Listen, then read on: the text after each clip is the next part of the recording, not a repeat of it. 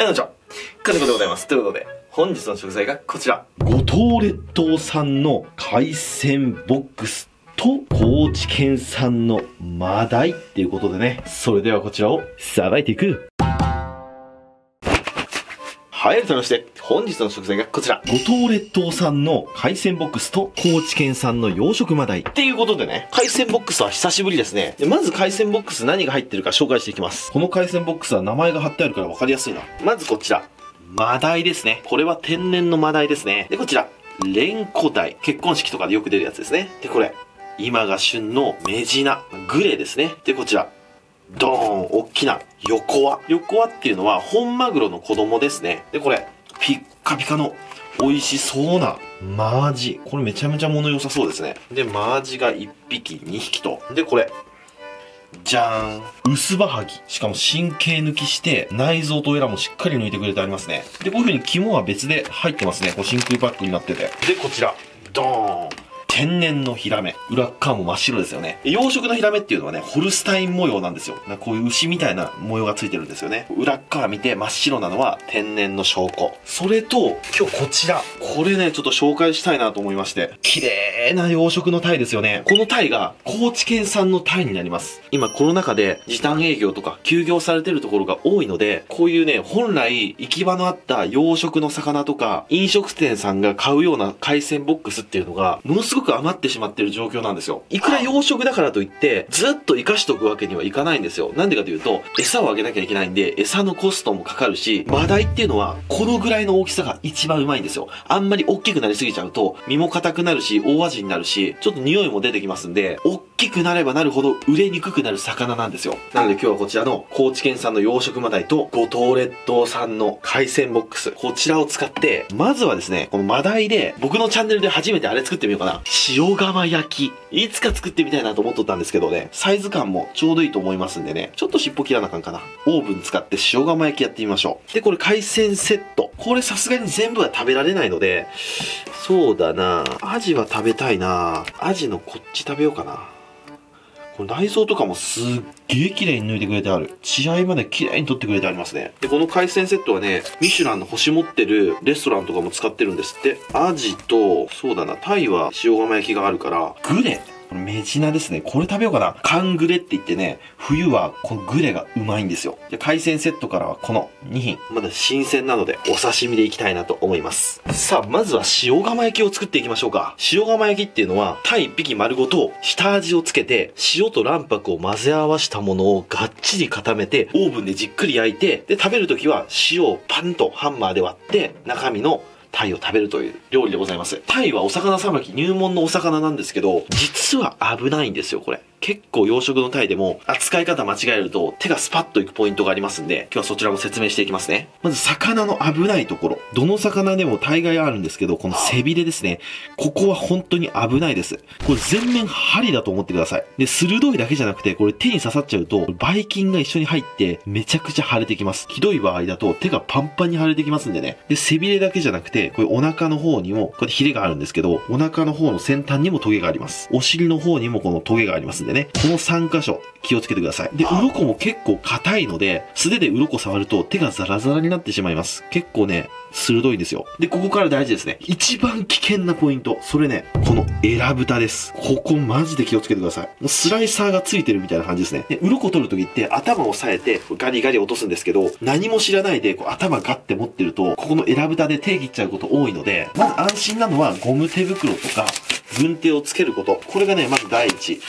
で、鱗取るときはシンクでやるといいですよ。で、鱗かきを使って取っていきます。で、鱗かきがない場合は、あの、キャ、ペットボトルのキャップとかでもいいって言うんですけど、僕はあれおすすめはしてません。なんでかというと、こういうペットボトルのキャップを持ちながら、こうやって取ると、手がヒレにブスッと刺さっちゃう可能性がすごく高いので、ペットボトルのキャップは僕はおすすめしませんね。もう100均とかでも売ってますんで、鱗かき買った方がいいですね。で、根元を持った方が力が入るんですけど、できるだけこう遠いところを持って、こうやって鱗を落としていった方が安心安全です。ゴム手袋をつけて頭をしっかり押さえて、で、鱗かきはできるだけ遠いところを持って、ガリガリガリガリと尻尾の方から頭の方にかけて鱗を剥がしていきます。で、鱗を剥がしてる時に、こう鱗が飛び散ってしまうんですけど、こういう飛び散るのが嫌だなと思う方は、水を流しながら、こうやってやると、飛び散りにくいです。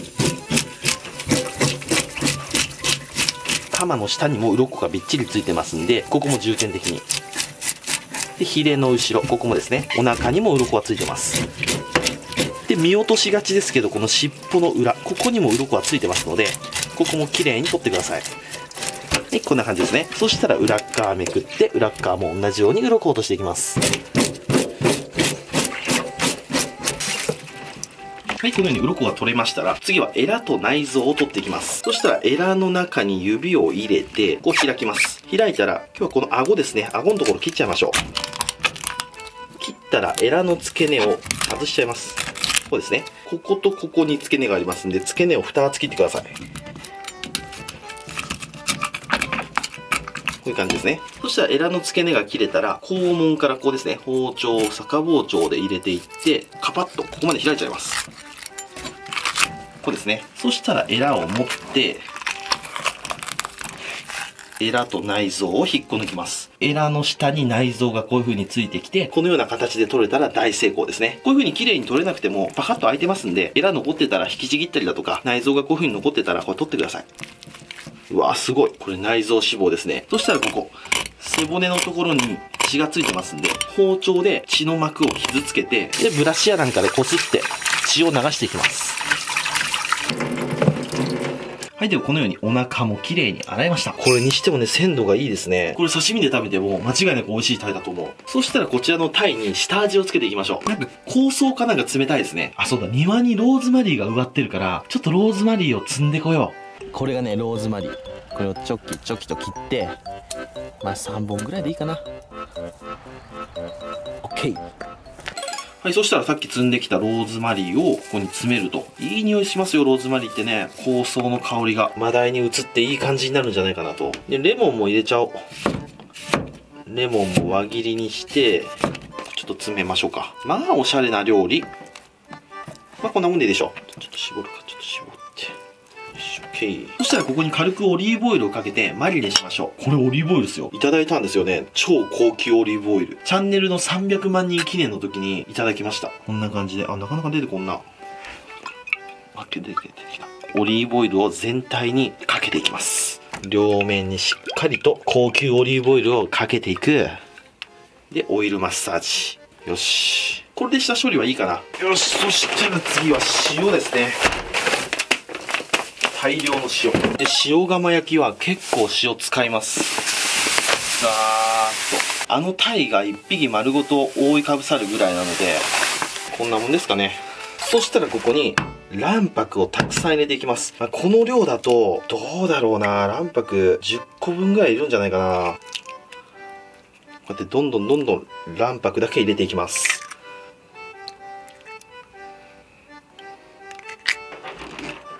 10個分卵白が入ったらこれを混ぜていきます。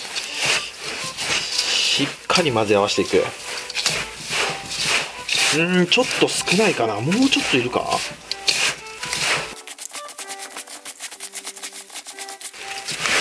いやそんなことない。こんなもんだな。でこうやって揉んでるうちにねこうなんだろう。泡泡になってくるんですよね。このねっとりというか分かります？かこのこのねっとり感。このぐらいになってきたら OK ですね。よし。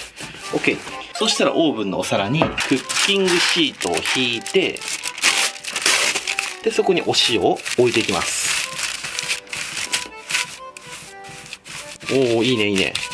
こうは置けないんで斜めに置きますね。多分これはギリギリだな。せーのよ。あちょっと尻尾が出ちゃうな。まあいいわ。そしたら塩とマダイの間に塩が入りすぎないように昆布とか敷くんですけど今日は昆布じゃなくてこれバナナの葉っぱでいきたいと思います。ちょっと南国チックにいきます。一回やってみたかったんだよねこれ。大体このぐらいの大きさかな。よっと。バナナの葉っぱってさ普通に売ってるんですね。よし。そしたらそこにマダイをドーン。で表面にもバナナの葉っぱをのせます。よし。そしてお塩でコーティング。これお子さんとかとやったらめっちゃ楽しいと思いますよ塩の量もぴったりだなどうなんだろうこれ塩ちょっと分厚いのかな？もっと薄くていいのかな？まあ、これでやってみましょうか。形をこう整えて、そしたらここに魚の顔を描いていきます。僕、魚毎日扱ってるんですけど、絵心が全くと言っていいほどないので、こんな感じですね。まずはエラを作ります。で、エラ蓋を描いて、で、目玉。目玉穴開けて、そしたらヒレを描いて、鱗をこうやって描いていくと。どうでしょうか？これで。こんな感じ。頭はね、だいぶうまくいったと思います。で、これで終わりじゃなくて、この目とかに卵黄を塗っていきます。卵黄が入ると、ここだけ色が変わるのかな？なんでちょっと色を変えたいとことかは、こうやって卵黄を塗っていくといいって書いてあったような気がする。あー、ちょっと雑だな。こういうところ、大型が出てくるな。まあ、こんなもんでいいでしょう。よし、これでオーブンに入れて焼いていきたいと思います。さあ、どんな感じに焼き上がるんかな？オーブンを200度に温めてあります。よし。そしたらオーブンの中に入れていきます。よし。で、蓋して、で、オーブンで200度。で、時間がね、だいたい30分ぐらいですね。とりあえず30分焼いてみましょう。で、30分でまだ生っぽかったら、もう10分追加しましょう。OK。そしたら焼いてる間に、アジとメジナをさばいていきましょう。内臓はもう出てますんで、頭を落として、アジはこの状態で皮引いちゃいます。まず、皮を1枚切っちゃいます、ここで。下、そして背中。あんまり深く入れすぎないのがポイント。こうやって皮1枚切る感じですね。で、こっち側も同じように。背中の方、お腹の方、こういう感じで入りました。そしたら、ここの取っかかりから皮を剥いていきます。ビビビビッと。で、滑る場合はペーパーとかでこうやって掴んであげると、はい、綺麗に滑らないで、皮が剥げます。そしたらここから3枚におろしていきます。あんまりね、深く入れすぎて皮剥いちゃうと、えぐれちゃうんですよね、ビーって。なので、皮引くときは、うっすら皮1枚切ってください。で、皮剥いてから、本格的に深く入れて、3枚におろすと。これめっちゃいい味だな。わ、これすごい物いいですね。で、こっち側も同じようにおろしていきます。はい、こんな感じ。そしたら腹骨をすいて、こんな感じですね。で、こっち側も一緒。で、ここに血合い骨がついてますんで、血合い骨は抜いていきます。だいたいね、血合い骨が入ってるのはここからここまでですね。魚によって違うんですけどね、アジはここからここまで入ってます。そしたら食塩水を作って、そしたらそこにアジを入れて、塩水処理していきます。で、これ洗ってあげると、鱗とかついてても、ここで落ちますんでね。よし、こんなもん。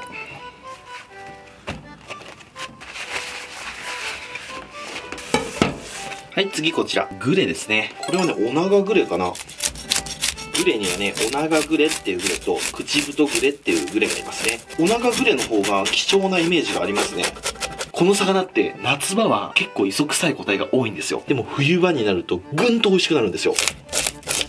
はい、鱗が取れました。ではでは、おろしていきましょう。こちらも頭を落としていきます。鎌から斜めに包丁を入れます。アジと比べてちょっと背骨が硬いですね。そしたら3枚におろしていきます。下から1本。で、こっち側もまずは皮1枚切って、で、深く入れていきます。で、背骨に沿って包丁を滑らして、そしたらここまで来たら尻尾から包丁をブスッと刺して、ここに腹骨がついてますんで、腹骨を断ち切る。で、腹骨が断ち切れたら尻尾の肉を剥がして、これも身がすごい綺麗だなこれ血抜きもすごくしっかりされてますね。血が全然出ないですね。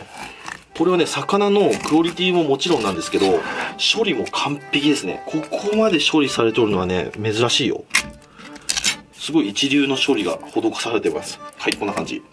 これ分かりますか？お腹のここ、油なんですよ、これ。こんだけ油が溜まってます。で、これ養殖じゃないですからね。天然物で、こんだけ油が入ってますから。このグレはうまいと。そしたらここに血合い骨がついてますんで、血合い骨を外します。で、お腹の方も血合い骨を外します。これで骨のない柵の完成ですね。皮ついたまま湯引きとか炙りでも美味しいと思うんですけど、僕個人的にはグレは皮引いちゃった方が好きですね。結構ね、皮硬いんですよね。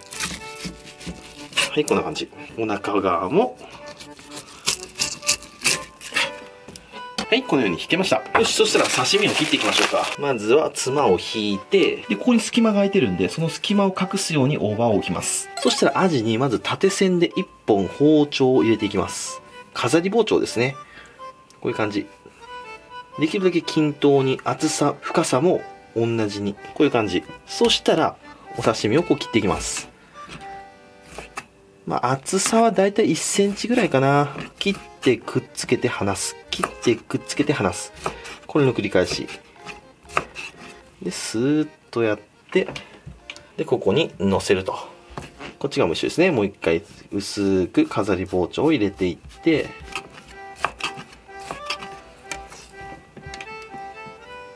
こんな感じ。そしたらここにつまを置いて、もう一丁大葉。で、ここにグレを切り付けていきます。こういう感じでいきましょうか。うわ、油すごこれが冬の寒グレなんですね。よし、OK。そしたらこういう空いてるとこに、赤と坂とか、こういう魚だけではなかなか出せない、こういうレモンの綺麗な黄色とかをね、ちょこちょこと入れていくと、とっても綺麗なお刺身になると思います。そしたらこれでグレとマジのお刺身の完成。そろそろ塩釜焼きができたと思うんで見に行ってみましょう。さあ、どうでしょうかね。おおいいよいいよ。出してみましょうか。おおてかめっちゃいい感じじゃないこれ。これはすごいぞ。で、めちゃくちゃ重いっていうね。いいよ。はい、こんな感じに焼き上がりました。カッチカチですね。チカチカチって。果たしてこれ中までちゃんと火が通ってるかですよね。で、本当はこれ取ってお皿に移したいんですけど、ちょっと取れないんですよね。なんでこのままいきたいと思います。というわけで、これでタイの塩釜焼きの完成。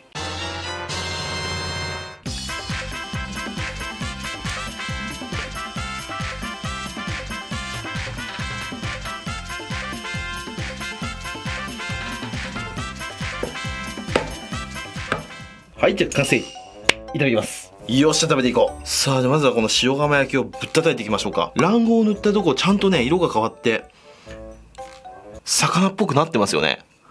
そしたら、皆さん気になる中身を割っていきましょう。言いますよ。せーの。硬っ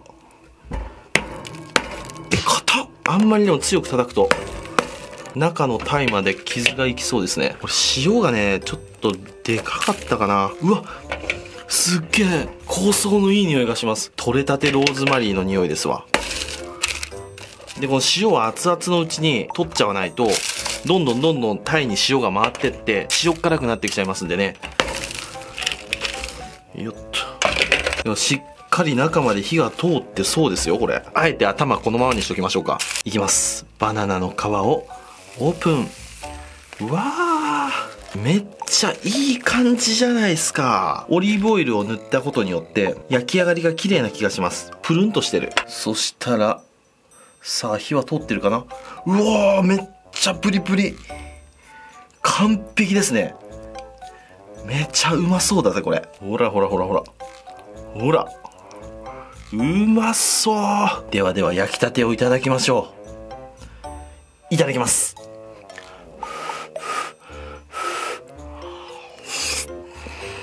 うわめっちゃうまいよこれめちゃくちゃうまいこれ普通の塩焼きだと油が全部落ちるんですけど塩釜だと旨味をギュッと閉じ込めて焼くんでわかります？この背中のとこに溜まってるこのマダイジュースですね。ほんとプリップリで美味しい。塩焼きとはまた全然違う味わい。酒蒸しと塩焼きの中間みたいな味がします。これはごちそうですわ。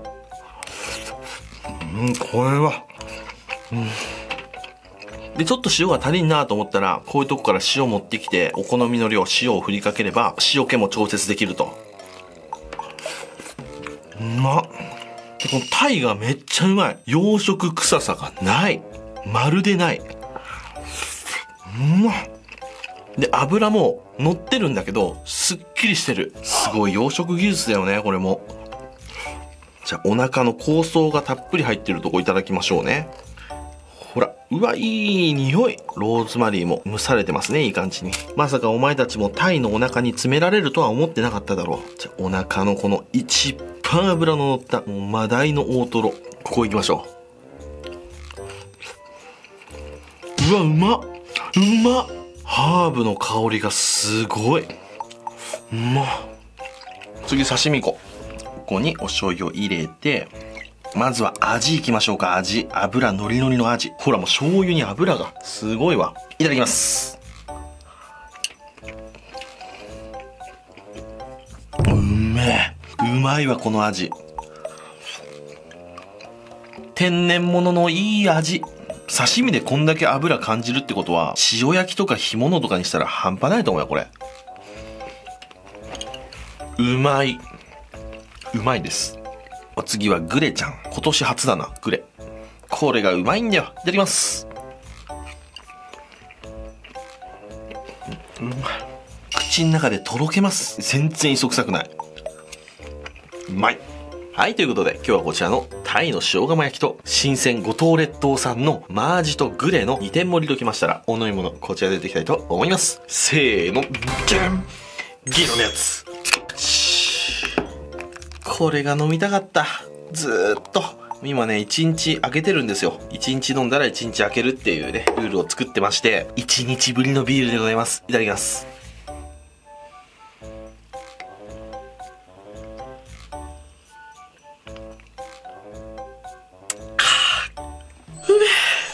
喉仏が喜んどるわ。それじっくり、食べていくよ。ごちそうさまでした。ということで、本日僕が使ったお魚なんですけど、リーチストックっていうところでゲットしました。リーチストックっていうのはあの、飲食店とかで BGM などのサービスを提供してるユーセンさんが運営してる EC サイトでございます。リーチストックでは、シーフードレスキュー U プロジェクトといって、コロナウイルスの関係で流通先をなくしてしまった水産物を食べて生産者さんを応援するというプロジェクトをやってるみたいです。で今日僕が使ったのはね、高知県産の美味しい養殖マダイと五島列島で取れた美味しいお魚の鮮魚ボックス。こちらの2つを使いました。どちらも一級品でした。鮮度もバッチリ。処理もバッチリでしたね。養殖マダイは、マダイやブリの養殖が盛んな高知県の須崎市っていうところで水揚げされたマダイでございます。須崎市は、こうね、海水が入れ替わるバランスがとってもいいらしいんですよね。なんで良質な養殖マダイが育つみたいです。そしてあの、豪華な鮮魚ボックス。あれはね、長崎県は五島列島の福江島っていうところで、100年以上続く林鮮魚店さんのお魚です。で、林鮮魚店さんの目利きは、多くの一流シェフさんから信頼されておりまして、国内外の多くのミシュランの星付きのレストランに卸してるみたいですね。確かにクオリティはすごかったもんね。今日は動画ではグレとアジをさばきましたけど、他の魚もね、クオリティがすごかった。で、今日使ったマダイと鮮魚ボックスなんですけど、こんな感じで、いろんな魚介類がありますね。カニとかホタテとか、ウツボの骨抜きカットパックなんてあるんですね。あとキャビアとか、もうとにかくね、たくさん魚売ってます。一流のシェフも御用達なぐらい、クオリティの高い魚が置いてあるのが、ポイントみたいですね。これほんといろいろ売ってるからね。生ガツオラウンドって。このラウンドっていう何かというと、一匹丸ごとっていうことですね。で、ラウンドで来てもちょっと困るよっていう方のために、これ見下ろして対応してくれるところもあるみたいですね。今日の林鮮魚店さんの五島列島シリーズ、この鮮魚セットは対応してくれるみたいですね。これはね、大変だよ。自分でさばくのもいいんですけど、こんだけ丁寧にさ、やってくれてあったら、もう、超助かるよね。ヒラメ。これグレですね。で、こうやってアラもちゃんと入れてくれます。これは助かるね。このね、冒頭でもちょっと喋ったんですけど、このコロナウイルスの影響で飲食店に出荷できなくなってしまったお魚が売れ残ってしまってるんですよね。で、このままだと漁業を継続できない漁師さんも出てきてしまうんですよね。現に身近な人だと、ワダルさんも言ってましたね。今日は魚たくさん取れたけど、コロナの影響でもう全然値段がつかないって言って。なんでこのままだと漁業を継続できない漁師さんも出てきてしまう現状みたいですね。ぜひこの機会に一緒に日本の漁師さんや養殖業者さんを応援しましょう。気になる方は概要欄にリンク貼ってありますので、チェックしてみてください。そして、今なら SNS をシェアで、ドドンと5000円相当のお刺身詰め合わせセットが抽選で当たるキャンペーンもやってるみたいなんでね、ぜひ概要欄からリンク飛んでもらってチェックしてみてください。というわけで今日は久しぶりの海鮮セットと初めてタイの塩釜焼きを作ってみました。塩釜焼きはあれうまいね。ちょっと手間と時間はかかるんですけど、作っててすごい楽しいし、めちゃくちゃうまいので、ぜひ皆さんもやってみてください。というわけで今日ご視聴ありがとうございました。バイバイ。